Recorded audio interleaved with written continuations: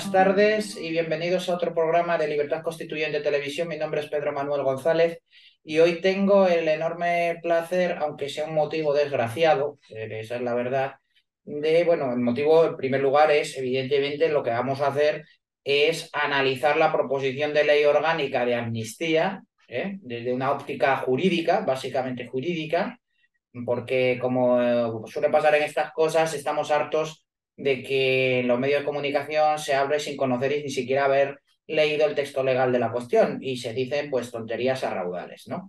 Y decía que es una ocasión pues poco venturosa por el motivo, por, por la tristeza que causa ver eh, esta, esta, norma, el bochorno que causa y, la forma en que está escrita ya, lo que dedicaremos pues el próximo, este espacio, los próximos minutos, pero también es un, un, placer porque por fin pues tenemos aquí de nuevo y me sirve de reencuentro con un amigo ya de, de los primeros tiempos de andadura del movimiento de ciudadanos hacia la República Constitucional, de aventuras políticas, judiciales, con don Antonio García Trevijano, y que no es otro que, que, mi amigo Adrián Perales. Bienvenido otra vez, Adrián, a la Casa de la Libertad, y que es un placer y un honor volverte a encontrar aquí de nuevo.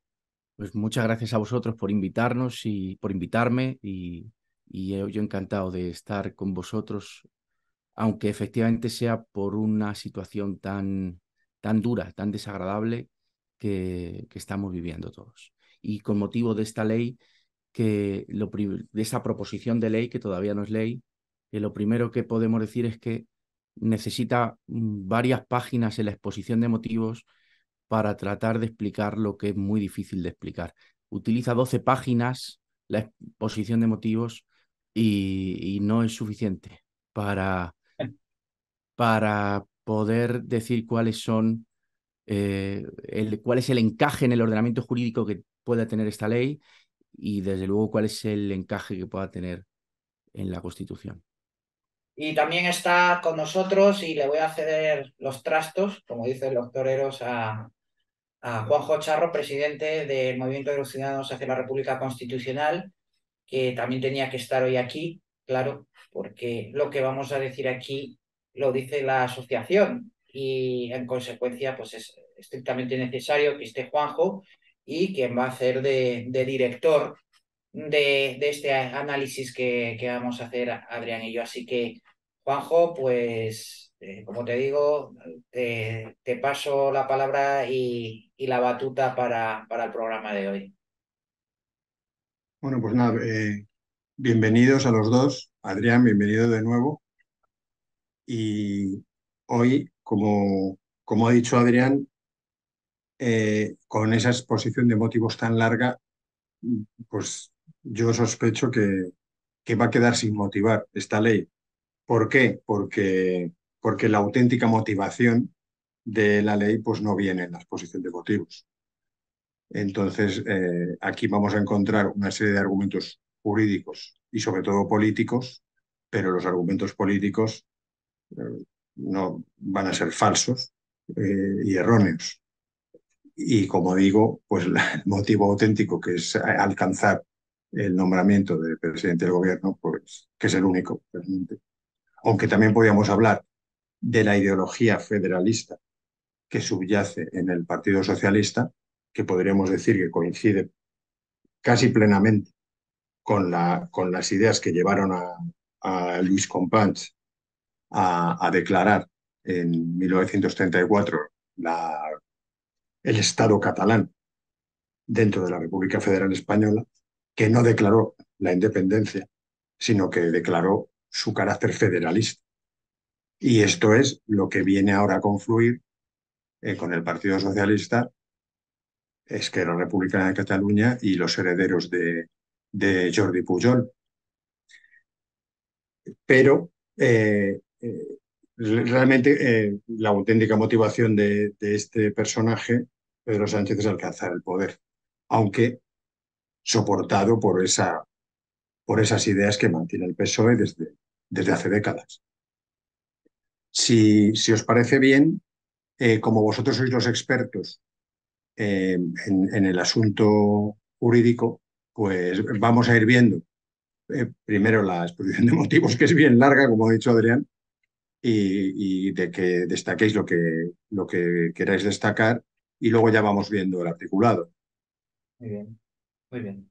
Pues si queréis, empiezo yo y empezamos, bueno, con una consideración general, también subrayar lo que habéis dicho vosotros, que es anómala la extensión de la, de la exposición de motivos. Yo, eh, de hecho, es casi tan grande, tan larga, tan extensa como el propio articulado. Eso quiere decir que hay que dar muchas explicaciones porque realmente no existe ninguna.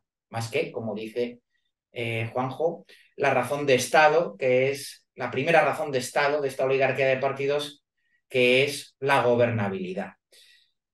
Eh, la estabilidad de gobierno. Luego, otra cosa que me resulta muy curioso eh, y sirve para todos los puntos que vamos a ver es que hay un continuo intento de autojustificación de que todo lo que viene después es constitucional.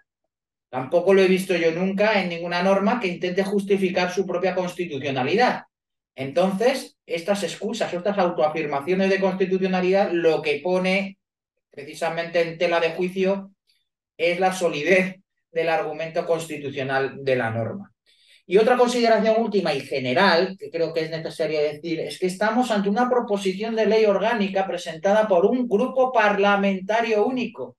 ¿Esto qué significa? Que no está suscrito ni por Junts, ni por eh, Esquerra Republicana, ni por Bildu, ni por, ni por las fuerzas nacionalistas o separatistas en general, ¿Y esto qué significa a su vez? Pues algo tan sencillo como que lo único que puede hacer esto es empeorar en el proceso de tramitación a través de las correspondientes enmiendas. Ello nos va a obligar seguramente a que cuando salga en el BOE publicada esta, la ley orgánica y el texto definitivo, tener que reunirnos otra vez para ver en contraste qué es el, eh, contraste entre texto que vamos a analizar hoy y el texto que saldrá finalmente publicado en el boletín oficial del Estado.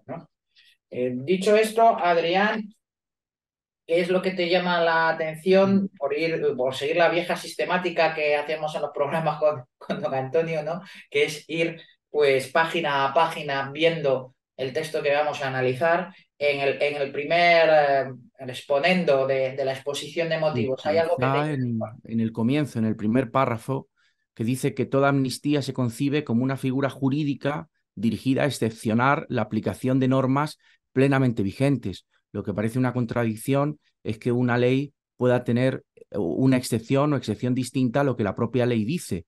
En la, en la, naturaleza las leyes se aplican sin excepción, no es que se apliquen, es que devienen sin, sin, excepción. No hay excepción a la ley de la gravedad y las excepciones que podamos encontrar en las leyes naturales responden a desconocimiento del ser humano del, del funcionamiento íntegro de esas leyes. Pero en derecho no puede haber una, una excepción a la aplicación eh, de una ley. Y desde luego que la amnistía es una, eh, una anomalía de un ordenamiento jurídico, un ordenamiento que por definición es un sistema, un sistema eh, que no se puede derogar a sí mismo. Un sistema en el que deben estar previstos todos los supuestos y deben encontrarse la, la mejor aplicación de los principios generales a los casos particulares con las leyes que desarrollan esos principios. Encontrarte en la primera frase que toda amnistía, sí, claro, se, se concibe como una figura jurídica dirigida a excepcionar la aplicación de normas plenamente vigentes. Lo que nos tendríamos que preguntar es cómo es posible que eh, un ordenamiento jurídico como el español pueda tener normas plenamente vigentes que, sin embargo, su aplicación se excepciona en determinados supuestos vamos, en determinado no, en esta ley de amnistía, diga lo que se quiera, esta exposición de motivos, no tiene precedentes durante, eh, durante la aplicación, durante el periodo en el que ha estado vigente la Constitución del 78. La ley de amnistía es preconstitucional. Lo que dice este primer párrafo es lo que acabo de leer, toda amnistía se concibe como una figura jurídica dirigida a excepcionar la aplicación de normas plenamente vigentes cuando los actos que hayan sido declarados o estén tipificados como delito o determinantes de cualquier otro tipo de responsabilidad se han producido en un contexto concreto. Esto es excepcionar, eh, eh, encontrar excepciones a la aplicación de la ley mm, fuera de lo que el propio ordenamiento jurídico establece. Entonces, primero, eh, es lo que quiero llamar la atención, que una ley no puede tener un ordenamiento jurídico no puede tener excepciones en su aplicación.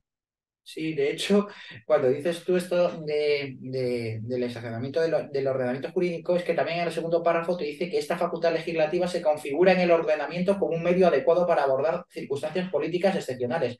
Pues mira que yo he intentado buscar en el ordenamiento jurídico dónde está y todavía pues resulta que no lo he encontrado. O sea que es, es un poco extraño. Y para ello hace unas piruetas eh, pseudo jurídicas como apelar a la soberanía popular. Y tiene que apelar a la soberanía popular porque lo que está haciendo aquí es una ficción para alcanzar el poder. Y para ello tiene que, acudir a otra ficción como es la soberanía popular, sustituyéndola por la soberanía nacional, la soberanía popular como concepto rusoniano para justificar algo eh, que, que, no existe. ¿no? Eh, ¿Dónde está la soberanía popular? Pues en el que está haciendo esta amnistía. ¿Y quién está haciendo esta amnistía? El Ejecutivo, el jefe de partido del Ejecutivo. Ahí, si hablamos de soberanía, la propia ley nos dice dónde está la soberanía y precisamente no está en el pueblo, que no ha dicho nada sobre esta norma, sino está en los jefes de partido que han llegado al acuerdo de gobernabilidad para, eh, para instituir, para introducir a calzador de manera contraria al ordenamiento jurídico esta norma. Pero no solo eso, también desde el punto de vista también eh, político hay una cosa muy importante, porque dice y utiliza como precedentes para justificarse que la amnistía, dice, ha sido utilizada en numerosas ocasiones en nuestra tradición jurídica, preconstitucional, habría que añadir, en todo caso, como bien ha dicho Adrián. Pero atención, que dice, el más importante, pero no el único, es la ley de amnistía del año 77. Por fin, por fin, se está asimilando la relación de poder en la época de Franco, de la legislación franquista y preconstitucional, a la relación de poder en eh, el régimen del año 1978. La apelación, la invocación a esa relación de poder nos viene a decir que no ha cambiado nada nada antes del 78 que en la actualidad del 78, si es necesario acudir a los mismos mecanismos. Esto me parece algo importantísimo. Por no hablar también de que se ampara también aquí y apunta, que luego lo desarrolla, el derecho comparado, diciendo que en Francia, por ejemplo, o Portugal, se, se establece, la, eh, se ha habido amnistías. Hombre, claro, como que sus constituciones lo permiten expresamente. Eh, por, ejemplo, en la Constitución de la República Portuguesa precisamente aparece la, expresamente la amnistía como un excepcionante de la responsabilidad, de la responsabilidad penal. A mí esto es lo, más importante que, he visto aquí y, bueno, pues hay muchísimas más cosas, pero es que si no creo que no vamos, no vamos a acabar nunca.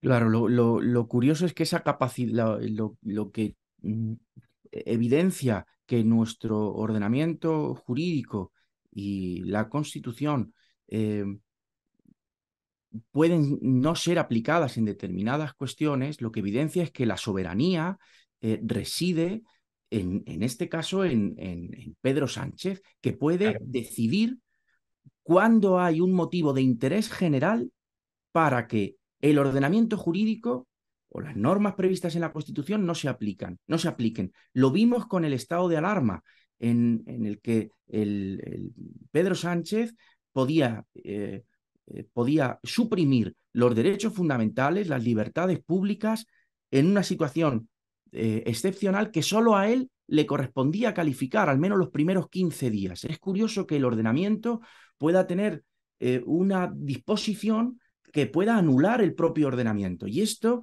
siendo instituciones distintas, la amnistía que el, estado de alarma, pero, pero se parecen en el sentido de que evidencian quién tiene la facultad de derogar normas fundamentales del ordenamiento jurídico que afectan a derechos y a libertades, eh, a derechos fundamentales y a libertades eh, públicas.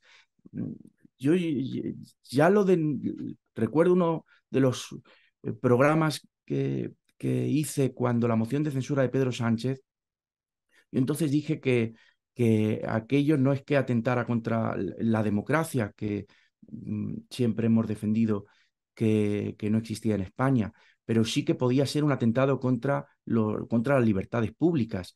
Una, eh, comparar eh, lo que se está haciendo en España con el ejemplo de Portugal o Francia, que no solo tienen recogidas en sus constituciones la previsión de amnistía, sino que el ejemplo que ponen de Portugal, mm, más allá de que formalmente tenga reconocida la amnistía, es que materialmente no se puede comparar. Es que dicen, el ejemplo que ponen de la, de la amnistía en Portugal, es que eh, si lo leemos, dice, así está prevista, como acabas de leer, está prevista expresamente en los textos constitucionales de Italia, Francia o Portugal, que han aplicado esta medida en diversas ocasiones, siendo la más reciente la ley tal de 2 de agosto del 2023 de Portugal, que amnistía a todos los jóvenes entre 16 y 30 años por comisión de determinados delitos con motivo de la visita del Papa Francisco a dicho país. Se podrá comparar, eh, eh, sin juzgar los motivos de, sin, juzgar la, formalidad en, la que está incluida en el ordenamiento jurídico la amnistía en Portugal, ¿se podrá comparar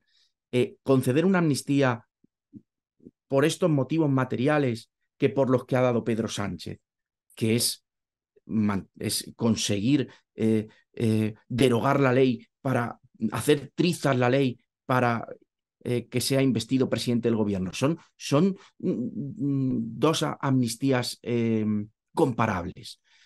Creo que, es, que, que, queda en evidencia que en el, en el quinto párrafo de la exposición de motivos se busque como precedente en el derecho comparado una amnistía como esta mm, eh, de Portugal.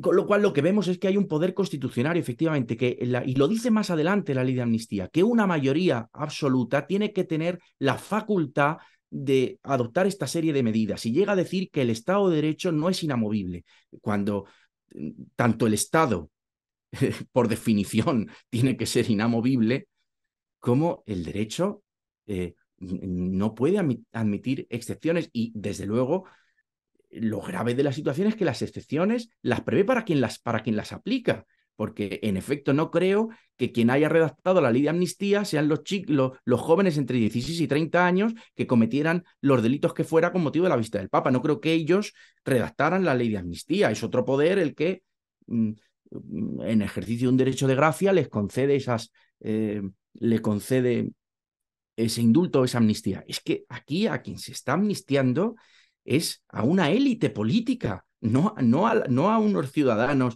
por unos, no, eh, sí, eh, habrá ciudadanos que arrastrados por esas élites políticas habrán cometido también delitos que serán objeto de esta amnistía. Pero eh, Pedro Sánchez, a, mm, a, quien necesitaba amnistiar, era Puigdemont, no, no al resto de ciudadanos. Esta amnistía es para políticos. En fin, es una vergüenza. Juanjo, ¿algo que añadir? Bueno, la, claro, la constitucionalidad ya se empieza justificándose, pues eh, ya eso es como eh, confesión de parte, relevo de prueba, ¿no? La constitucionalidad es completamente, es muy discutida. Eh, como, como has dicho en otros países de, de, la Unión Europea, pues está expresamente contemplado en las constituciones, por lo tanto los, los, los ejemplos que pone son inválidos y ya al huir a Portugal esa serie de delitos que no los conozco tampoco yo, pero probablemente sea por, por fumar algo, o algún joven o beber en el parque, pues, pues no, no, no, no me parece aquí porque esta, esta amnistía es que es un desarme del Estado. Eh, desarma al Estado ante los delitos más graves que se pueden cometer. No solo porque atenta contra la unidad nacional, sino por quienes lo cometen las altas autoridades del régimen, eh, cometen un delito de rebelión porque era rebelión. Si queréis, luego comentamos eso, si os parece, si no, no. Porque para alcanzar, si hablo de memoria, para alcanzar una unanimidad eh, en la sala, se, se, consiguió, se consintió en rebajar eh, el delito a sedición cuando igual, me equivoco, ¿eh? pero había, yo creo que había mayoría de magistrados que mantenían el delito de rebelión. Entonces, desarmar al Estado ante, ante una rebelión que no la ha hecho un teniente coronel, sino altas autoridades, el, el representante del Estado en, en, una de sus regiones, como es el presidente de la Generalitat, que tiene ese título, eh, es algún desarme absoluto. Y aunque nosotros también mantenemos que la separación de España no es casi imposible porque no es eh, coger unas tijeras y cortar un trozo de tela, sino que hay millones de conexiones invisibles que ni siquiera la mayoría se saben dónde están para poder cortarlas, eh, pero es un, es un atentado gravísimo eh, a la unidad nacional y el Estado directamente se desarma simplemente por, por un pacto de, investidura. O sea, que es que no hay proporcionalidad, porque el Estado puede rendirse ante, no sé, parcialmente una, ante un Estado mucho más fuerte que lo invade. Eso es comprensible, que tiene que llegar a un acuerdo antes de que lo destruyan militarmente, pero desarmarse de esta manera para alcanzar los intereses de un pequeño grupo o de una persona es absolutamente injustificado y por eso la, la, la extraordinariedad que invoca también la exposición de motivos no está acreditada. No hay esa situación tan grave como si, pues eso, como si ahora nos invadiera Francia, que tienes que pactar porque te destruyen. Eh, no está justificada la, la, la, gravedad, porque puede haber hechos, eh, pues existen hechos de una gravedad tal que pueden obligar a un Estado a, a, ceder de esta manera. Y lo que realmente es, y lo reconoce ahí también en el tercer párrafo, es una decisión política. Y esa decisión política nos lleva a los fines políticos a largo plazo, eh, tanto del, del, Partido Socialista y, de, y, de, Esquerra Republicana. Y bueno, Habría que decir que qué interés general. Que esos son los que más coinciden en ese enfoque. Digo que qué interés general tan oportuno que coincide con lo que necesita Sánchez. Que, qué oportuno llega ese interés. Podría ser el interés general otro, pero en este caso se da la casualidad de que, de que coincide con lo que, con lo que Sánchez quería. Pues claro, porque ellos lo que mantienen ya desde siempre es que el problema regional de España, o, como ya dicen, el problema de las nacionalidades, confundiendo un grupo cultural con un, con un Estado nacional, que, que nación histórica es diferente a un grupo étnico, no tiene nada que ver y utilizan torticeramente el término sin, sin reconocer que tiene dos significados, que, que, que, que, no tiene nada que ver un significado con el otro, aunque tenga cierta relación, pero muy, no es nada, no tiene nada que ver. Eh, utilizando eso, le quieren darle solución a un problema eh, regional eh, mediante la separación de todas las regiones o de algunas regiones para que luego, según el Partido Socialista, voluntariamente bueno, vuelvan a unirse. O, o no, eh, digo yo, a lo mejor no vuelven a unirse. Bueno, pues por ir avanzando un poco más, pasando al punto, a la exponendo segundo de la exposición de motivos, eh, ¿qué es lo que más te ha llamado la atención de ahí, Adrián? Bueno, del segundo, a mí lo que más me ha llamado la atención es cuando admite que el motivo por el cual se aprueba la ley de amnistía es porque toca. Eso es, eso es eh, tremendo, es una cuestión de, de, turno. Toca hacerlo ahora. Es, es, esto es así porque toca. Eh, eh, la ley de amnistía es necesaria porque toca. Podéis pensar que estoy exagerando, pero en, no voy a contar el párrafo, en la página 4, que está dentro de este punto 2 que tú me dices, dice, eh, literalmente. Así, con esta ley orgánica de amnistía, las Cortes Generales acuden de nuevo, de nuevo, pero no hemos quedado que era la primera vez que se hacía una ley de amnistía, acuden de nuevo a un mecanismo constitucional que refuerza el Estado de Derecho para dar una respuesta adecuada más de diez años después del comienzo del proceso independentista, cuando ya se han superado los momentos más acusados de la crisis. Y toca establecer las bases para garantizar la, la convivencia de cara al futuro. O sea que esto se hace porque ahora, ahora antes no, ahora sí, ahora eh, toca. Esto es como cuando le dices, sí, pues porque te, te lo imponen. Esto, eh, ¿Qué motivo puede ser que te digan que esto se tiene que hacer porque toca? Y que se acepte, no sé si, esto seguro que cuela hasta el final de la ley. Con el juego de la OCA. Sí, Suena el juego, ¿no? De la OCA, que es tiro porque me toca. Pues eso. Yo lo que veo también aquí es que en este segundo punto hay unas concesiones terminológicas pues también bastante importantes. he visto que se habla ya de la consulta celebrada el 9 de noviembre de 2014. Eso quiere decir que está reconociendo que aquello fue una consulta, no que no fue una algarada ni un, eh, digamos, algo que hicieron cuatro gatos por ahí, sino que fue una auténtica consulta. Y sobre todo, más adelante, habla de la superación del conflicto político.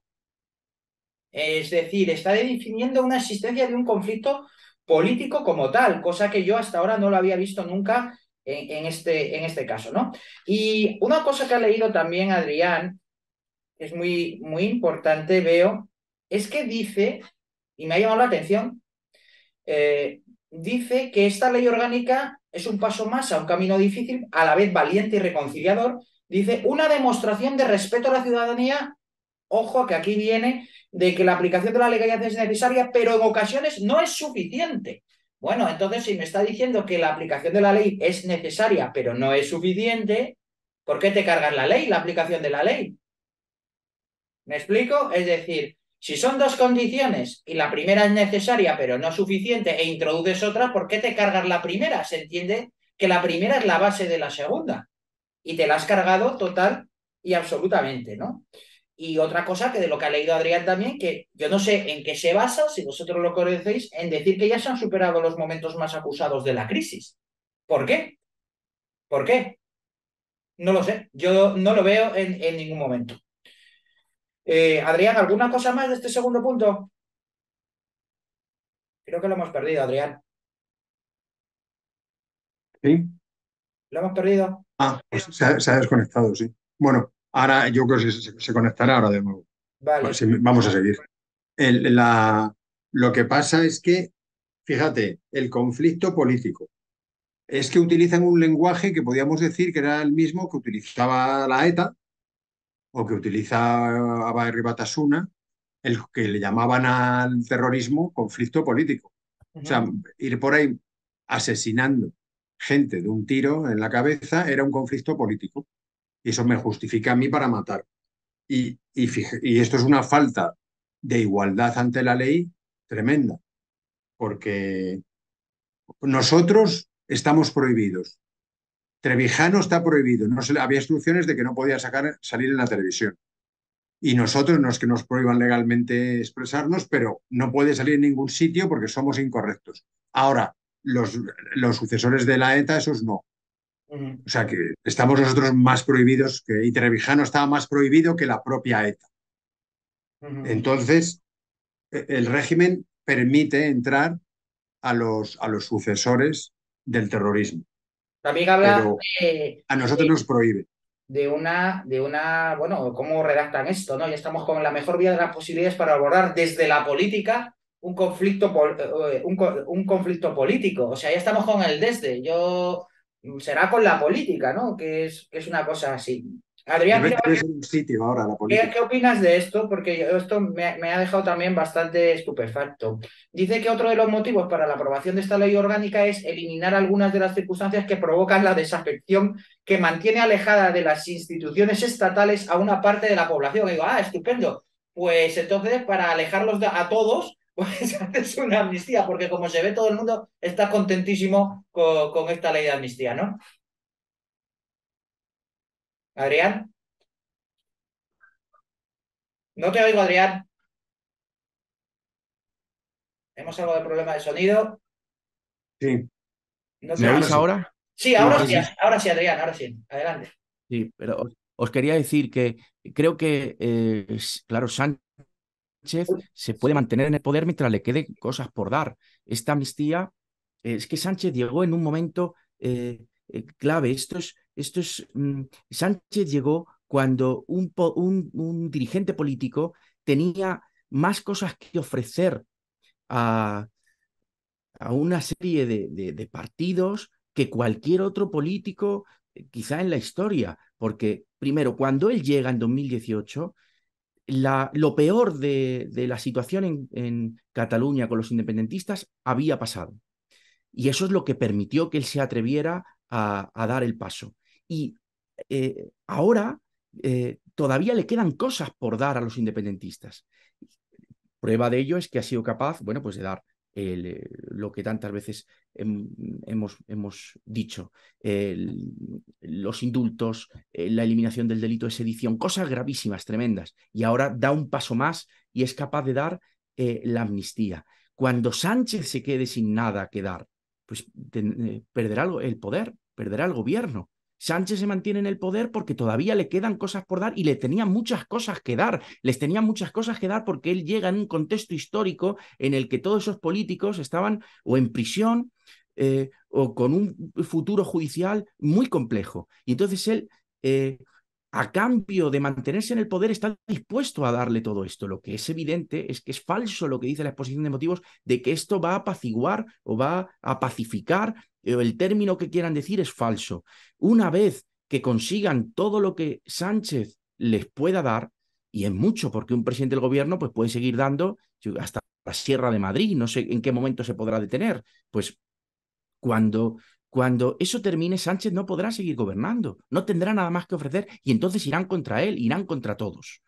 Claro, ante, estas, ante esta situación, em, mm, desde luego que, que, todos los que, los que defendemos, ya seamos republicanos, monárquicos, repúblicos, eh, tenemos que estar, pienso yo, de acuerdo en, en una cosa primordial, y es que eh, España no puede ser fraccionada es que la unidad de España, con independencia incluso de la forma jurídica que tenga, es, es, eh, es algo que no se puede negociar. Entonces, mm, eh, claro, son, son, dos, son, dos, cuestiones distintas. Por un lado, eh, mm, hay una causa quizá lejana o inmediata, pero la eficiente, la real, que es un régimen político como el que tenemos una constitución que permite que, que eh, un presidente del gobierno llegue a este tipo de acuerdos y que no haya un freno, un control eh, que lo impida, y pero luego hay una causa inmediata, y la inmediata que hace posible esto es que hayamos padecido la mala suerte de tener un, presidente del gobierno sin ningún tipo de escrúpulo, eh, un presidente completamente inicuo. Claro, el consenso era malo. El consenso, que es el que presidió la transición, fue el que hizo posible eh, la Constitución, y Constitución que solo, la del 78, que solo funcionaba bajo la premisa de que ese consenso iba a operar para siempre y que el PP y el PSOE iban a estar de acuerdo en lo fundamental, porque, eh, porque descansaba en, eh, era ingenuo, pensaban los redactores que ese poder nunca se iba a revelar o nunca iba, se iba a asociar con, con, con entidades o partidos que fueran en contra de los intereses generales o que fueran en contra de la unidad de la nación.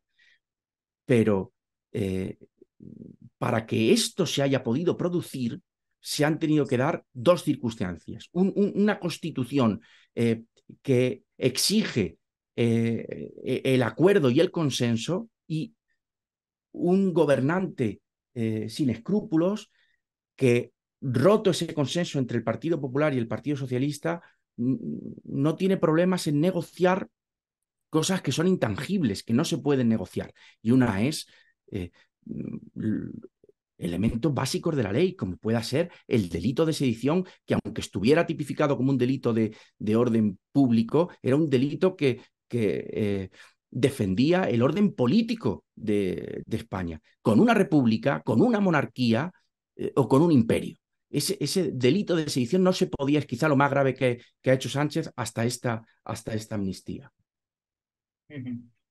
Pues pasando al siguiente punto, si os parece, este es que lo tengo que decirlo primero porque si no me lo va a pisar Adrián, porque es tan, una burrada jurídica tan impresionante. Bueno, y también Juanjo, porque es una burrada también histórica apabullante.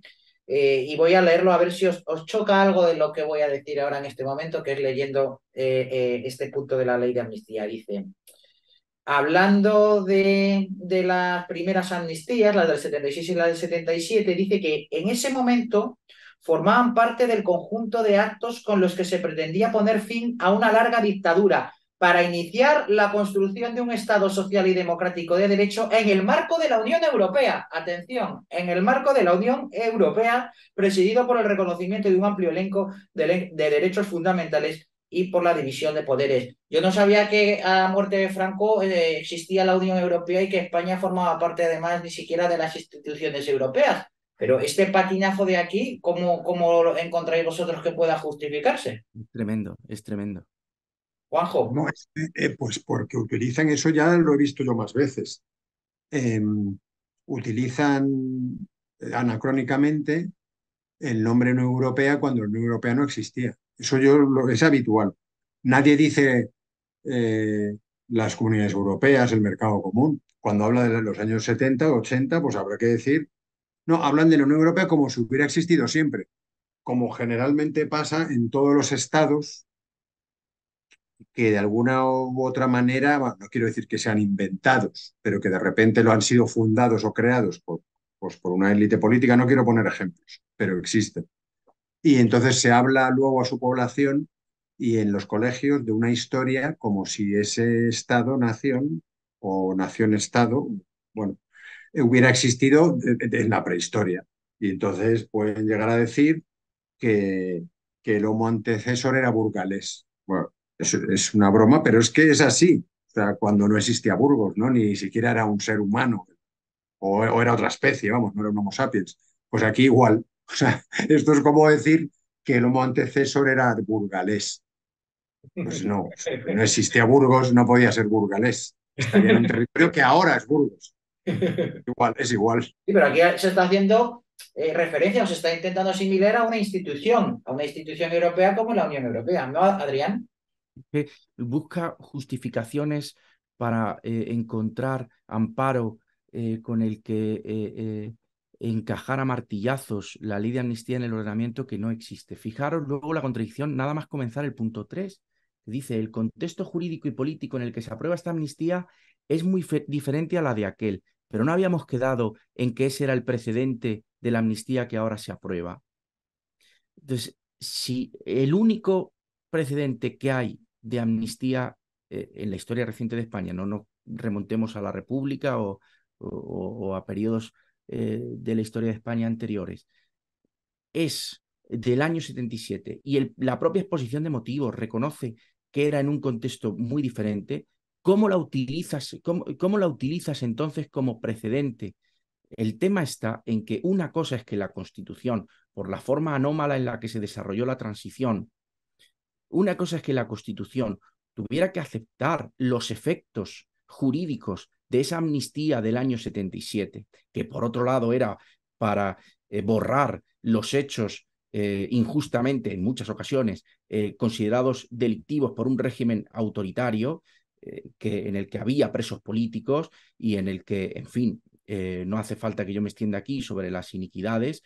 Y otra cosa es una amnistía en un régimen que por mucho que, sea objeto de, crítica, y yo soy el primero el que lo critica muy duramente, pues es un contexto histórico distinto, un régimen que, aunque tenga unas libertades públicas otorgadas, hasta ahora eran reconocidas y con sus excepciones eh, respetadas, y unos derechos fundamentales que eh, esta ley de amnistía pues lo borra porque borra el principio de igualdad.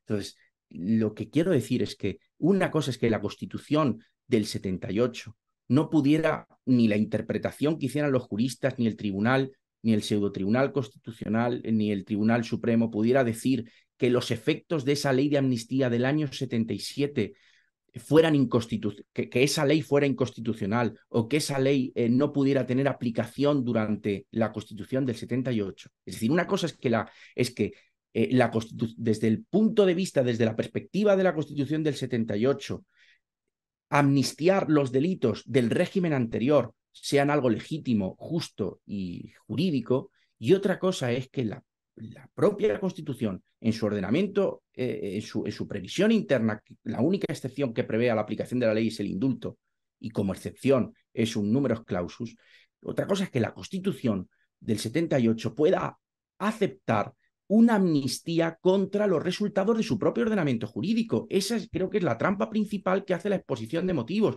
Decir que como el Tribunal Constitucional en distintas sentencias ha reconocido la eficacia de la amnistía del año, una antes, si no estoy equivocado, en el año 76 y otra en el 77, reconociera la eficacia de esa amnistía, en ergo cualquier amnistía, ergo la, amnistía cabe dentro o es plenamente constitucional. Me parece que esa es la, la manipulación de la exposición, quizá la más grave de la exposición de motivos de, esta, de este proyecto de ley. Sí, eh, ya has entrado, de hecho, además, en el punto cuarto, que precisamente se dedica a esto que has dicho tú, y hay una cita, por ejemplo, del Tribunal Constitucional, que la 147-1986, que esta además ya la había visto yo en un artículo que escribí para el Diario Español de la, de la República Constitucional, que se llamaba las, las 22, creo que eran mentiras de Vidal Folk, que era sobre un artículo que que dijo este buen señor en el país que había 22 sentencias que daban la razón a la constitucionalidad de la ley de amnistía cuando todavía ni se, supuestamente no se sabía su contenido y una de ellas era esta, ¿no? Y esta sentencia en concreto, lo que dice es todo lo contrario. Lo que hace es lo que tú dices, Adrián, sino que avala la extensión de los efectos de la ley de, amnistía a situaciones particulares generadas en ese momento, pero además es que cierra la puerta expresamente a nuevas leyes de amnistía, por no hablar de que se trata de una ley dictada en el ámbito laboral. Laboral. Es lo que viene esta, esta norma, esta sentencia, como la mayoría que allí citaba Vidal Folks, es decir que las personas que se vieron perjudicadas por las leyes represivas del franquismo, sobre todo militares en cuanto a la supresión de grado y, de, empleo y grado y la pérdida de los derechos eh, pasivos de jubilación era admitirlos a futuro por la ley de amnistía, esos efectos de la ley de amnistía dentro de la, de la Constitución a partir del año 78, ¿no? Pero no se refiere a la posibilidad misma de la ley de amnistía, conforme tú has dicho, sino lo que hace es permitir que se amparen en los efectos positivos de esa ley de amnistía, en efectos económicos y casi todo dentro del orden laboral, dentro del, del orden social, pero en ningún modo en cuanto a la, a la cuestión del perdón, de la, de la pena, que a eso no se refiere en ningún momento. También en este punto cuarto, y siguiéndolo así, también dice, yo creo que uno de los máximos mentiras y argumentos que se han antes de la publicación empleado, ¿no? Que es decir, que la Constitución no prohíbe la institución jurídica de la amnistía. Eh, vamos a ver, ¿Y porque no lo prohíba no es que esté permitido? No, porque el monopolio de la ley de juzgar y hacer cumplir lo juzgado, que eso es lo que dice también la ley orgánica del Poder Judicial, es, eh, son las excepciones a ese monopolio de la justicia por el Poder Jurisdiccional, son números clausus. Es decir, no cabe la analogía. Y si lo que no está expresamente previsto como excepción, no puede establecerse como excepción. Precisamente lo contrario de lo que aquí... Eh, como regla, porque aquí casi lo establecen ya la amnistía como parte del ordenamiento jurídico. Eh. Sí, sí, sí, sí. E, exacto, exacto. básicamente esto. ¿Hay alguno que te llame la atención? Y aquí, y aquí me llama muchísimo la atención un punto en el que dice Dice, todo, todo ello, al final de la página 7, todo ello nos permite inferir que la amnistía, lejos de ser una figura inconstitucional, forma parte del pacto eh, fundacional de la democracia española. Eso es importante. y, y, se presenta como una facultad de las Cortes Generales, de las Cortes Generales preconstitucionales. de las... Ah, que, se llamaban, que no, se llamaban, no eran las Cortes Generales, eran las Cortes Españolas. sí, bueno, Las Cortes Generales existen a partir del 78, ¿no? Pero vamos, la, eh, pero aquí, eh, fijaros, hace un paralelismo eh, fundacional. Entonces, ahora está, está, haciendo algo fundacional ahora también, porque, claro, si, justifica su carácter fundacional la del 77, es que ahora también debe aludir a un carácter fundacional. ¿Fundacional de qué? Ojo, peor todavía, o todavía, es porque todavía se está fundando e, el, régimen, que es lo que decía eh, don Antonio, hablaba de la transición inacabada del 78 siempre. Pues esto lo que hace es darle la razón a don Antonio García Trevijano cuando hablaba de la transición inacabada del año 78, porque parece ser que estamos en el, el mismo punto de la historia que en aquel momento, ¿no? Me parece algo gravísimo y yo también tenía esto eh, como Adrián expresamente señalado. También, Adrián, te quería preguntar... Y, la, parte siguiente, que es casi peor. La parte final de ese párrafo dice, que es lo que, es quizá la prueba de que el poder ejecutivo, el uno en España, eh, en este caso Sánchez, tiene la facultad de derogar todo el ordenamiento jurídico, incluso el que le es aplicable a él, con la célebre frase que tantas veces hemos escuchado de que las libertades, eh, como fueron otorgadas, pueden ser revocadas, y a, esa frase de las libertades podemos añadir, tantas veces dijo Antonio, los derechos fundamentales incluso. Dice, fijaos lo que dice eh, aquí en la parte final de, de la exposición de motivos, dice, de esta manera, a quien se haya legitimado para tipificar o destipificar una conducta, se le reconoce en lógica consecuencia la facultad de amnistiar esos mismos hechos sin otros límites que los que directamente dimanen de la Constitución. Toma ya. Toma ya, toma ya. O sea, vamos a ver, claro, sí, el que tiene el poder de legislar puede derogar la, la ley por los cauces establecidos. Es bastante anómalo derogar las leyes de que conforman lo mollar del orden, de, la protección del orden eh, político eh, y de la unidad de la nación, sea cual sea su forma del Estado, como digo, el delito de sedición.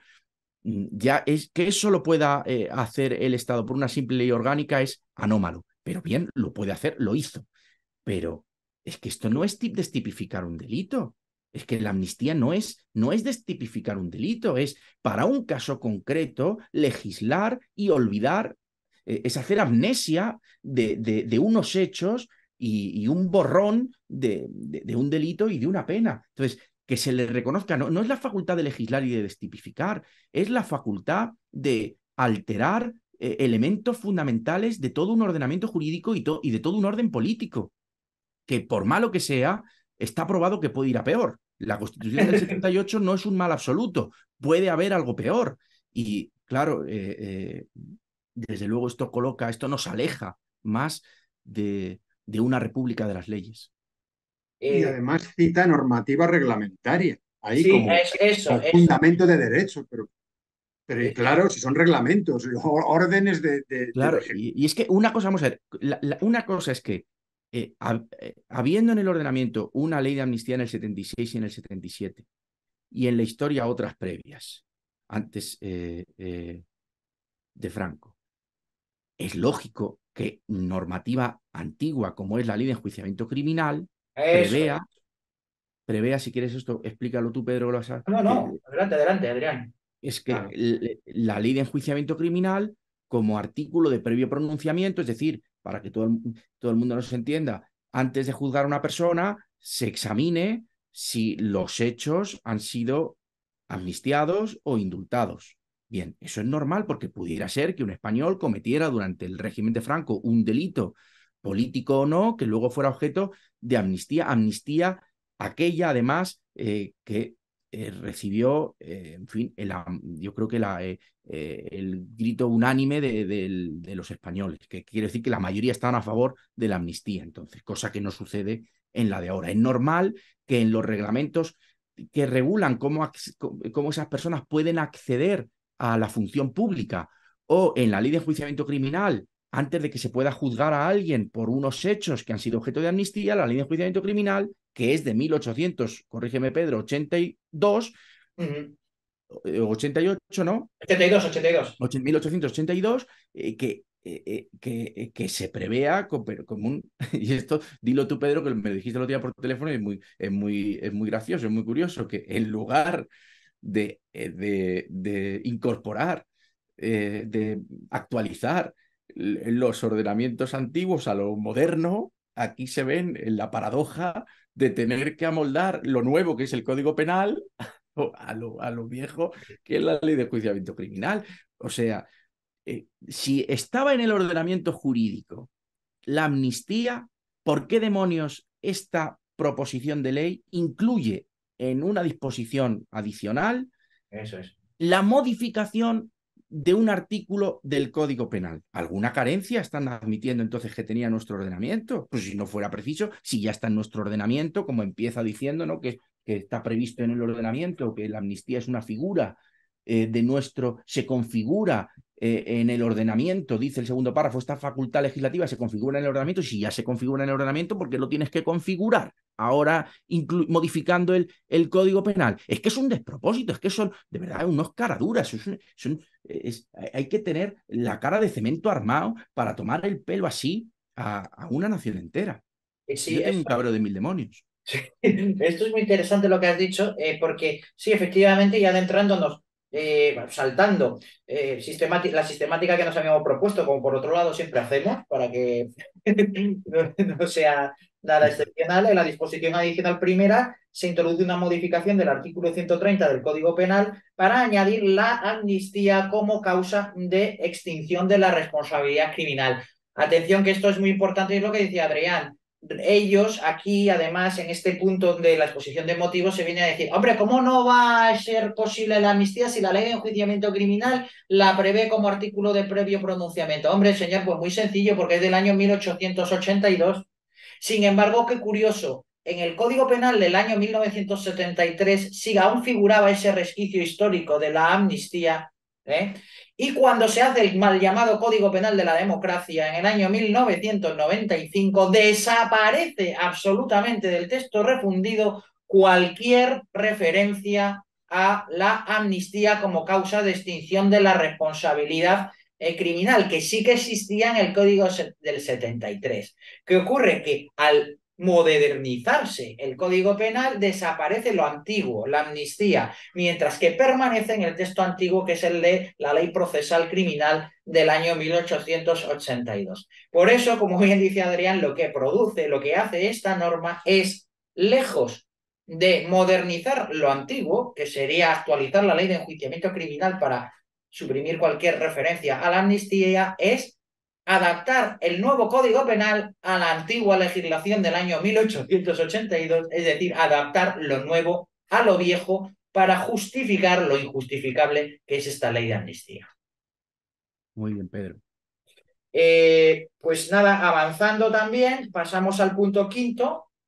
Aquí yo, si os digo lo que más me ha llamado la atención, es que han eliminado la palabra laufer, ese anglicismo horrible, espantoso, para hablar de la Em, de la em, judicialización de la política, pero lo, lo, lo trata directamente en la página 10 diciendo que de esta manera se devuelve la resolución del conflicto, volvemos al conflicto político, a los, cauces, a los cauces de la discusión política. Es decir, se está criticando implícitamente esa supuesta judicialización de la política, cuando realmente esto es la consecuencia única de la falta de separación de poderes y de independencia judicial en España. Naturalmente, la, la falta, la judicialización de la política y la politización de la justicia son dos caras de la misma moneda. Lo primero intentando la politización de la justicia alcanzar políticamente las cuotas del Tribunal Supremo, del Constitucional, del Consejo General del Poder Judicial, de la Fiscalía, pero eso tiene un revés, que es la judicialización de la política.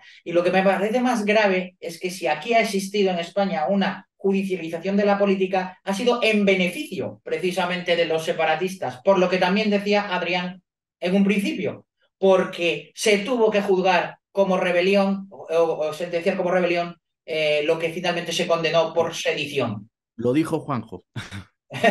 lo dijo Juanjo, pues exactamente, lo dijo Juanjo. Pues eso sí que es judicialización de la política, porque si la política, eh, la justicia hubiera sido aséptica a la política, se hubiera condenado por rebelión y no por, por, por sedición como, como efectivamente ha dicho Juanjo. ¿No es Juanjo? Por lo menos al, vicepresidente, eh, al presidente, al vicepresidente de la Generalitat, porque tenían el mando de una Fuerza Armada, eh, y, a los que tuvieran relación con, la, con ese mando, eh, mandos de, la, de los mozos de escuadra, etc. A lo mejor al consejero de, de Industria, no lo sé, pues podía ser sedición, no, pero no lo. Eh, rebelión, los cabecillas, está claro que es una rebelión, porque rebelión fue eh, lo que le condenaron al, general Armada y tampoco llevaba, no creo que llevaba ni la pistola en el cinto, pero es un general, es un mando de, una fuerza armada, entonces por eso es rebelión. Pero ahí claro, un poco militar. Pues, claro, claro, además el código penal era diferente, pero aquí estamos hablando de, que, la rebelión está en el Código Penal y, alzarse con violencia no solo implica sacar la pistola, solamente tener la pistola, aunque yo no la saque, si yo soy un general o un, no sé cómo se llama, un jefe de los, de los mozos de escuadra, que voy armado, yo no hace falta que saque la pistola para intimidarte. Ya estoy armado. Entonces, eh, entonces sí que es violencia. Por el propio principio de autoridad armada que es. Porque tiene el vicepresidente de la Generalitat, tiene mando de esa fuerza. Entonces, claro, él te, impone, te intimida. Lo que hace, pues tiene un ejército. Igual. no hace falta sacar las pistolas ni pegar tiros. Ya estás armado, ya estás intimidando con violencia. Es que la violencia, pues no sé, es que se creen que es eh, golpear. No, no, la violencia ya implica la, la, posibilidad de, que, de, de, sacar las armas, aunque no las saques, porque estás armado. Es curioso, no se acepta la violencia en nada, en ningún ámbito de la sociedad, repugna a todo el mundo, pero en, en, en esto no. Esto, los criterios de violencia son, mientras que se, son cada vez más laxos los criterios de violencia y con buen criterio estoy a favor, eh, sin embargo, en esto no, en esto hace falta cada vez una violencia mayor. Bueno, ya no, ya esa discusión ya no cabe, el delito de sedición ya no existe. Es, tremendo. El delito de sedición em, desaparezca. Y yo mm, no se me ocurrió algo en su momento que creo que, se, que, que ahora lo veo evidente. Sánchez no suprimió el delito de sedición pensando únicamente en darlo como, como dádiva, en darlo como moneda de cambio para conseguir en su momento y ahora el apoyo de los independentistas. Lo hizo también pensando en sí mismo. Lo hizo para que si tenía que cruzar una línea roja, si llegaba el caso y la cruzaba, no pudieran tampoco presentar acusación contra él. la eliminación del delito de sedición es muy grave porque es un delito que, eh, que, puede afectar a los propios dirigentes, a los propios dirigentes, a la propia élite política. Entonces son ellos los que eh, eliminan ese, ese límite, esa barrera, eh, para poder hacer eh, lo que en este caso atentar contra, contra, el orden político de, de, nuestro país. Y eso mm, ya nadie podrá acusar ni a Sánchez, mientras el Código Penal se mantenga así, ni, ni a Sánchez ni a ningún otro. Eso es lo que vamos a ver luego cuando entremos en, el articulado, porque ahí hemos visto una cosa, Adrián y yo, que hemos visto, ¿verdad? Hablando antes de, preparar el programa, absolutamente grave. ¿Alguna cosa Una pregunta, ahora que dices tú, Adrián, y os pregunto a vosotros como abogados en ejercicio. Eh, ahora si hay una, si una masa tumultuaria impide, por ejemplo, va un, va un letrado de justicia con, su, con la policía a ejecutar una orden judicial y de repente aparece ahí una masa y se lo impiden, eh, como es, ya es otro delito ya más leve, o como ya no es sedición, porque eso creo que era sedición, ¿no? Pedir a la autoridad. La sedición tendría que impedirse la aplicación de una ley, no era simplemente el de desobediencia. Tenía ah, que vale, pero, inaplicarse, impedir la aplicación de la ley eh, en un territorio que tiene que ir más allá, creo yo, de, un ejemplo. Y, bueno, pero si ahora hay una masa que impide la aplicación de la ley, que es desobediencia también. No se sabe, ¿no? No se persigue desobediencia. Desobediencia. Desobediencia que es mucho más leve, ¿no? sí, sí, sí. Eh, ahí podría haber un delito también contra la Administración de Justicia, también, desobediencia, sí. Pero vamos, es un desarme, es un desarme. ¿Alguna cosa más de aquí, Adrián, de este, de este punto? No, Pedro, yo creo que no. Yo creo que el, siguiente, que es el ya el sexto, y que es el último, es una cuestión meramente. Yo no he encontrado nada interesante en tanto que lo único que hace es describir la estructura de, del articulado de la ley. No sé si vosotros habéis visto algo que, que os merezca la atención de ahí.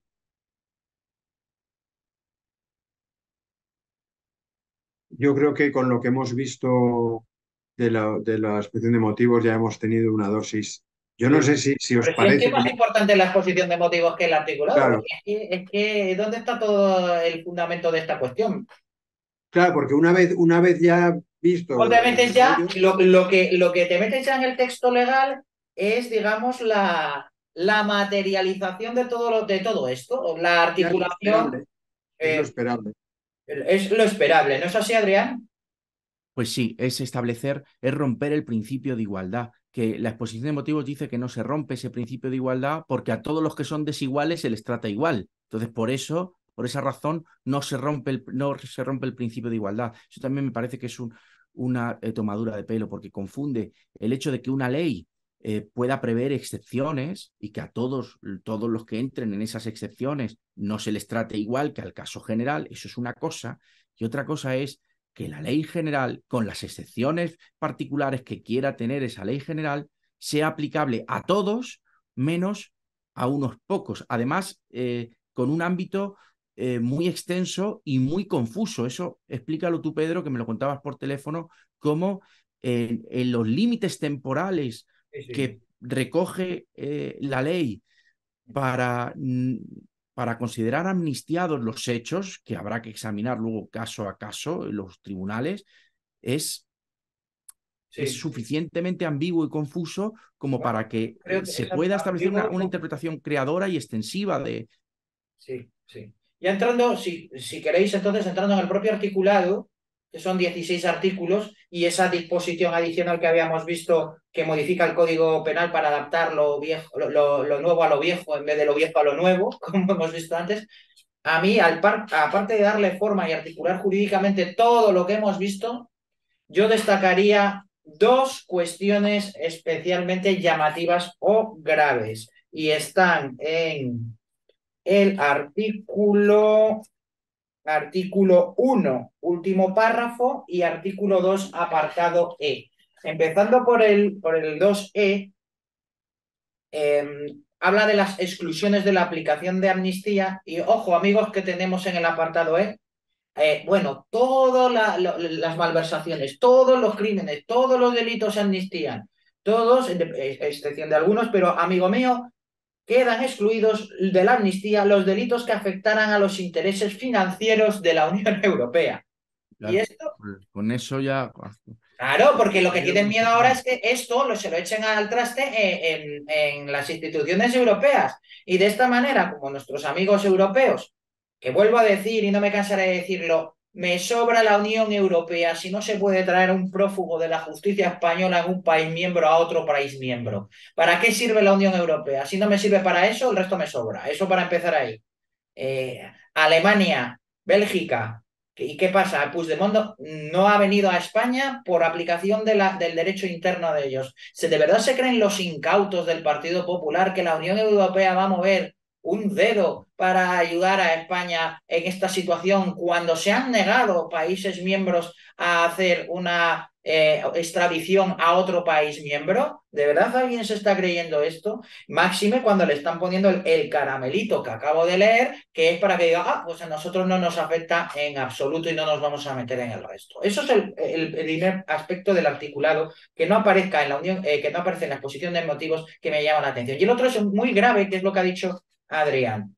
Y habla del, en el último párrafo del artículo 1, haciendo mención a la aplicación temporal, temporal de la ley, dice lo siguiente, que, em, que, es de aplicación eh, la ley a los actos cuya realización se hubiera iniciado antes del día 13 de noviembre de 2023, también se entenderán comprendidos en el ámbito de aplicación de la presente ley, aunque su ejecución finalizase con posterioridad a esa fecha Amigos míos, entonces, ¿qué ocurre aquí? Que entendiéndose que podíamos estar ante delitos continuados que tuvieran su origen con el ámbito de aplicación de esta, de esta norma, por ejemplo, ahora Junqueras o, o, Pera Aragonés vuelven a declarar la República eh, Catalana, la independencia de la República Catalana, perfectamente pueden decir que esto no es nada novedoso, que precisamente como la exposición de motivos que hemos visto dice son hechos que se remontan al ámbito de aplicación temporal de la amnistía, no es más que ejecución de aquellos mismos actos, de aquel mismo plan preconcebido, del mismo proceso, en sus palabras, que ha resultado amnistiado, por lo cual no es nada nuevo y se ve eh, eh, incluido en el ámbito de aplicación temporal de la amnistía, a tal punto que supone no solo un perdón de lo pasado, sino la posibilidad de un de una suerte de impunidad hacia el futuro, porque está claro que la problemática penal que se puede inferir de los actos políticos de los separatistas no es algo novedoso que haya que, que se vaya a crear ex novo desde la entrada en vigor de esta ley, sino que tiene su base en, en, hechos continuados, en un proceso, como ellos mismos lo denominan, que tiene lugar y, y eh, con anterioridad y amparo en esta ley, de tal manera que estamos incluso hasta una suerte de impunidad a futuro. Claro. Eso, es, Realmente... eso es tremendo, ¿eh? que se pueda amnistiar el futuro, porque la amnesia es de lo que ha sucedido, pero de lo que no ha sucedido no nos podemos acordar ni no acordar, ni olvidar lo que no ha sucedido. Es, es increíble. Es, en vez de olvidar, es ya directamente me tapo los ojos. Para sí, no ver. Es, exactamente, es eso, es taparse los ojos. Es cruci, como decíamos de pequeño. A mí me parece realmente peligroso esto, porque yo esto sí que no lo he escuchado en, en ningún sitio, eh, porque claro, eh, es un delito, lo que se están cometiendo podría hablarse de una continuidad en el proceso del delito, ¿no? O sea, no se pueden, yo creo que no se pueden juzgar como hechos aislados o delimitados, acotados temporalmente. De hecho, la propia ley de amnistía se cuida muy mucho de cubrir todos los flecos posibles para que todo, para que no se les pueda meter mano por ningún lado. Y esto es, me parece que gravísimo porque cualquiera inteligente, un abogado inteligente, puede decir que cualquier acto que pase con posterioridad o, o una repetición de los hechos que dieron lugar a las condenas iniciales, pues no se puedan ni siquiera juzgar al amparo de decir de que, de que efectivamente son hechos que en realidad se han iniciado antes del 13 de noviembre de 2023, que solo es la mera ejecución de parte de los mismos, pero que se trata del mismo hecho, con unos efectos posteriores, ¿no, Adrián? Sí. Pero nos dirán que entonces se podrá, que siempre tendremos en el ordenamiento herramientas suficientes. Yo lo que también querría criticar es ese argumento y el que se repite machaconamente por una parte de, de los medios de comunicación de que esto va a servir para reconciliar a catalanes independentistas con no independentistas y, y al resto de España.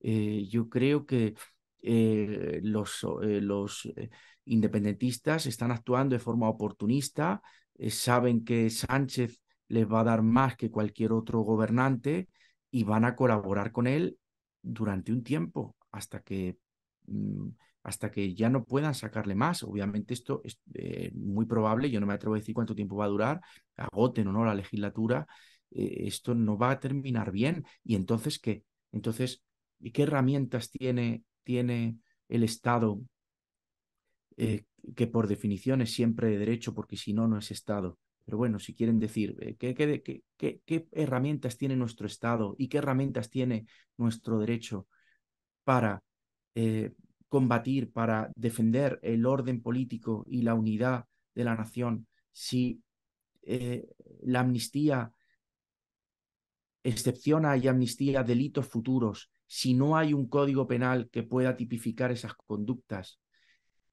El artículo 155, todas las esperanzas están en el artículo 155. Ah, ridículo. Luego también no bueno, sé como si no tienen límites, como, como, como pueden hacer lo que quieran con el 155, aunque no esté contemplado en el 155 y el Tribunal Constitucional no dice nada, pues es que tienen plenos poderes en el fondo. Y, no sé en qué párrafo que lo hemos saltado hablan de que una mayoría absoluta debe tener esa, esa eh, facultad de abordar eh, problemas de este tipo. ¿No se da cuenta Sánchez que también puede tener mayoría absoluta Vox o puede tener mayoría absoluta eh, el partido que venga? Que, que, que, que, la protección, desde luego ahora, es con un personaje indecente que es Sánchez pero hay que mirar a largo plazo. Es que este personaje, que es uno, no tiene por qué ser el único que venga en España. Entonces, lo que no puede ser es que si ya era un rodillo lo que tenía en España el partido mayoritario, si tenía mayoría absoluta, o la coalición de partidos, si alcanzaba esa mayoría, ese rodillo que siempre han tenido, si además eh, se eleva y se tipifica o se positiviza, mejor dicho, hasta el punto de que puedan eh, alterar eh, elementos fundamentales de, del derecho, ya es, es, es consagrar, es consagrar un poder omnímodo, es consagrar, no que no hubiera división de poderes, que no la había, es que al menos había una cierta división de funciones. Es que el Poder Judicial, aunque eh, la Constitución no recogía ese Poder Judicial, porque decía que el Poder Judicial estaba en que los jueces pudieran dictar en conciencia las sentencias sin intromisión más allá, sin, sin intromisiones, es decir, que cada que eso Antonio decía que eso no era el Poder Judicial, que faltaría más que los jueces no pudieran dictar en conciencia sus sentencias. 117. El 117 de la Constitución. Es decir, que no había poder judicial porque no hay un órgano elegido directamente por todo el mundo de la justicia, por jueces, por abogados, por procuradores, por oficiales, por secretarios de juzgado, un poder independiente que no fuera elegido directamente por el eh, poder ejecutivo, por los partidos. Bien, ese eh, poder eh, o esa independencia de la facultad jurisdiccional no ha existido en la Constitución. Pero se reconocía eh, la facultad, el, derecho, el, eh, la potestad de eh, juzgar en conciencia los casos. No se le daba órdenes para casos concretos a los juzgados. Y es que la manera en la que este proyecto de ley se dirige directamente a los tribunales para casos concretos, no para casos generales. Bueno, se querría decir que no son casos concretos porque son más de uno, pero son los que son, los que se acotan. Como dice... Bueno, incluso cita funcionarios hombre, funcionarios locales y autoridades locales que cómo les vamos a condenar porque hayan delinquido. hombre. Eso crearía un problema. Dice que crearía un problema. Crea, un problema porque como son delincuentes, pues, hombre, es un problema, claro, hay que, hay que, hay que juzgarlos y separarlos de la función pública, hombre. Que... Pero mejorará la economía, lo que no sé es por qué no sacamos a todo el mundo de la cárcel entonces, porque desde luego que eso eh, favorecería la oferta de trabajo, habría más mano de obra disponible para que la demandaran las empresas es que son argumentos tremendos. Se han quedado con el Cal Smith malo. Sí, se han quedado con el Cal Smith malo. y, se han olvidado del Cal Smith bueno. No, se han quedado con el de la teoría de la Constitución, se han quedado con el de las leyes habilitantes. Sí. ¿Nos parece un positivismo extremo? Esto es como si confundieran la ley, y, ley y derecho. O sea, la ley es la ley, lo que apruebe eh, las Cortes y el, el, derecho, los principios generales, la da igual todo lo demás es lo que apruebe la, la Cámara, aunque sea un disparate. Porque y lo que mismo declara constitucional. Claro. Y luego tienes el problema de siempre. Eh, tenemos un tribunal encima, el constitucional, mal llamado constitucional, que es un tribunal constitucionario nombrado por la clase política que ya, pues, eh, pues eso, ya arrimará el ascua a la sardina jurídica que corresponda y que convenga en este caso por un criterio de oportunidad política y no por un criterio de legalidad. Eso, sí, con la Unión Europea, cuidado, eso que has dicho tú, de si afecta a los intereses financieros de la Unión ah, Europea, no. ¿Por qué lo dice? Pues porque hay un, los fondos europeos, sobre todo el Fondo Europeo de Desarrollo Regional, y muchos programas de las administraciones se financian o se cofinancian parcialmente con fondos de la Unión Europea. Y, os acordáis de todas esas embajadas y oficinas que promovieron y, y otros gastos que se hicieron para el proceso? Que se utilizaron presupuesto que en parte eh, provenía del Fondo Europeo de Desarrollo Regional. Pues a lo mejor les Ahí está la causa. A eso sí les van a condenar por malversación, porque eh, los fondos de la Unión Europea sí que no se pueden tocar. Y eh, aunque luego no nos no ejecuten las, las extradiciones, con lo que demuestra que cómo se va a formar unos Estados Unidos de Europa si no existe, por supuesto, hermandad entre esos estados, sino animadversión, como ya se, ha demostrado, ¿no?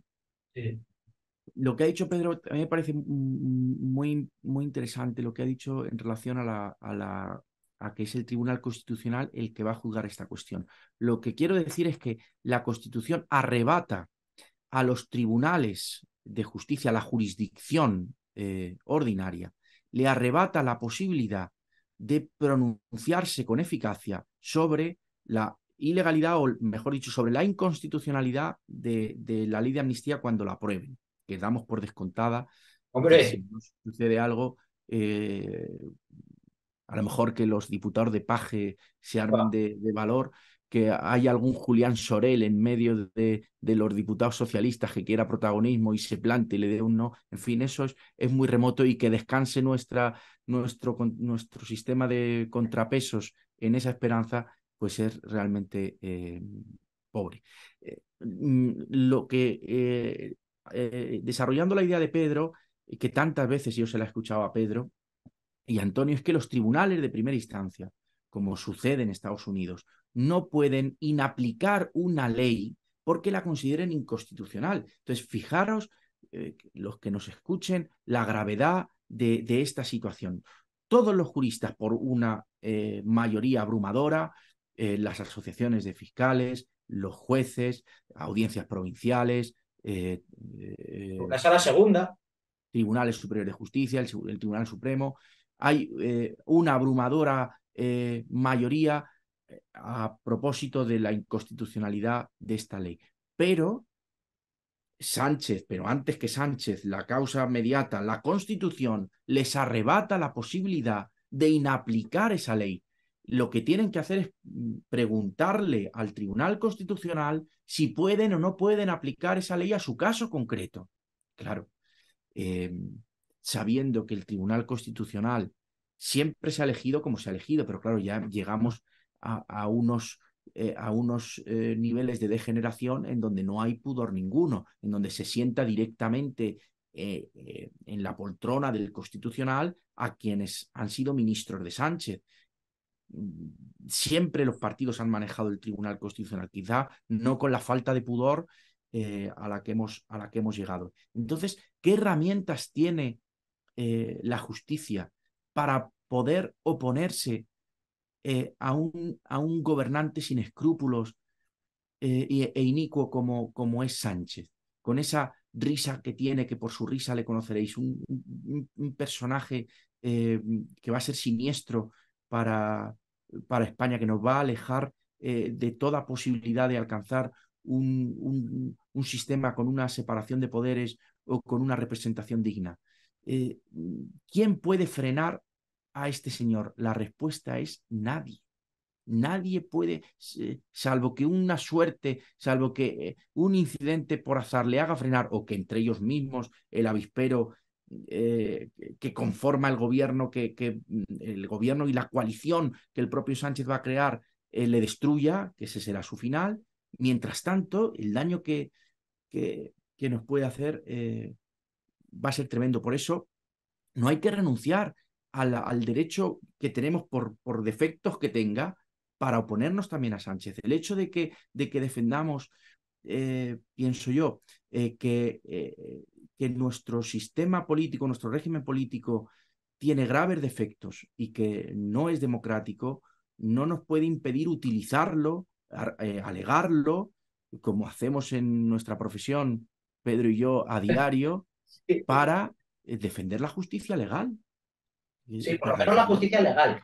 Porque ya que no estamos en una democracia y que no hay separación de poderes, lo único que nos queda es la justicia legal, efectivamente.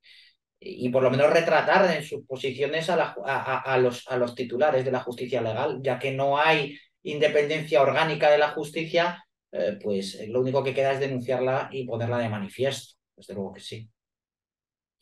Bueno, pues yo creo que aquí hemos eh, no vamos a aburrir más con estas cuestiones jurídicas a, nuestra audiencia. Yo creo que ha quedado todo bastante claro. Y Juanjo, ¿quieres añadir tú algo? No, eh, mientras esperamos la aprobación del texto definitivo de esta ley, pues seguiremos soportando eh, esta transición sucesiva e inacabable y también la sedición y la rebelión continua. Eso es, eso es. De estos. Bueno, Adrián, pues eh, con la alegría que, me ha dado pues contar contigo hoy, pues también me gustaría que acabaras el programa y también eh, con el compromiso de que cuando esto salga en el web, pues nos volveremos a reunir para, para ver cómo ha ido esto y si ha ido a mejor o a peor, que me parece que más bien va a ser lo segundo, ¿no? Pues no sé qué palabras puedo dirigir a quien me escuche para que no caigamos en el pesimismo. Es verdad que el conocer eh, las causas de, de la situación presente, en cierta medida te evita caer en la indignación, que no en el enfado, porque es verdad que tras esa causa inmediata hay una inmediata que es la, existencia de un gobernante concreto que está después de romperse el consenso entre el PP y el PSOE, sabiendo que el Partido Socialista ya no puede ganar las elecciones con las reglas que venían operando antes, pues cambia de estrategia y se abraza a los partidos independentistas, que claro que tiene algo de traición. En la Revolución Francesa, cuando acusaban a Luis XVI de, de abrazarse a, Leopoldo, a su cuñado, al hermano de María Antonieta, a Austria, para no importarle utilizar fuerzas enemigas contra su, contra su propia nación, pues, eh, pues fue mm, duramente juzgado finalmente por, por traición, con todos muchos avatares que no es momento ahora de, de, decir. Y aunque la situación no sea la misma, es cierto que Sánchez, ante la imposibilidad de, que el PSOE pueda volver a ganar las elecciones como en su día la ganó Felipe González, o ni siquiera con, con, el número de diputados que tenía Zapatero, en el que una mera coalición, aunque fue el que abrió la veda y el que rompió el consenso, eh, mm, eh, aliándose con, un, con, con Esquerra Republicana y con Izquierda Unida, pudiera gobernar, Sánchez lo ha llevado a otro nivel. O sea, la ambición de poder de, los partidos, en este caso del Partido Socialista, y la imposibilidad de poder eh, gobernar en, de la forma que venía, se venía haciendo, ha hecho rompiera el consenso de la, a una degeneración del régimen político que unido a la falta de contrapesos nos puede llevar a un riesgo cierto de disolución de, de, la nación española, sin duda ninguna. Yo creo que, es, que ese riesgo existe. Yo espero que al final eh, la historia eh, y, la, y, la, y el, espíritu público eh, prevalezca pero hay, hay motivos evidentes para la preocupación porque después de la amnistía es muy probable que venga el referéndum y, y, después del referéndum probablemente tengamos una declaración de independencia y una nueva sedición, una nueva rebelión, rebelión en una situación mucho más compleja. Eh, quiero decir más compleja porque tendremos menos instrumentos para, para poder eliminarlas. Entonces creo que es iluso pensar que porque a corto plazo se ha apaciguado el problema, eh, a largo plazo mm, no lo vayamos a, a tener. Y, daros las gracias por la oportunidad de, del día de hoy de poderme expresar y veros y hablar con vosotros. Y, nada más. Bueno, pues, pues nada, el placer ha sido nuestro, Adrián, y ya te digo, quedas emplazado para cuando tengamos por lo menos como muy tarde, cuando tengamos ese texto, pues para volver a analizar y ver el contraste de lo que, de lo que ha variado con esta proposición de ley orgánica. Y nada, simplemente yo despedir el programa pues eh, diciendo pues simplemente lo que ya venimos diciendo, que de aquellos polvos estos lodos, cuando no hay control del poder, cuando no hay representación, cuando no hay separación de poderes y cuando no hay independencia de la, de, de, la justicia, estas son las cosas que pasan. En el origen de la cuestión está la consecuencia que ahora padecemos. Eh, libertad constituyente y república constitucional, como siempre, como, como salud pública, que esa, que, esa salud pública que aludía Adrián, es la solución que tenemos y pues, nuestra responsabilidad moral es eh, propugnar por ello, seguir por ello y pelear por ello. Pues nada más amigos, eh, nos despedimos aquí. Espero que haya sido un programa de, de vuestro agrado y nos vemos de nuevo en el siguiente programa de Libertad Constituyente Televisión. Muchas gracias. Un abrazo, amigos. Un abrazo.